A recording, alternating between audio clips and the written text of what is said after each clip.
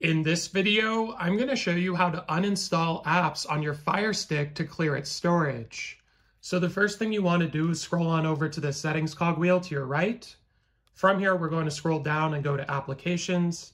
And once you're here, we're going to scroll down to the bottom and go to manage installed applications, where you can also see your internal space, how many gigabytes you have available left.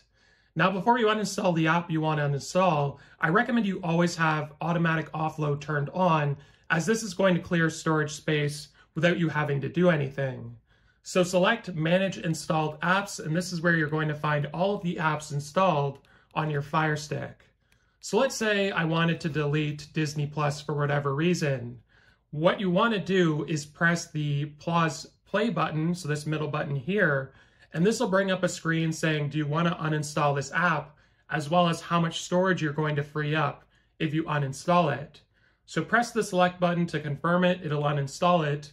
And if you're ever really not looking to install apps and you just want to clear some space, you can always clear the cache on these apps by simply pressing the rewind button and confirming that if you're just looking to save some space and don't want to delete the app.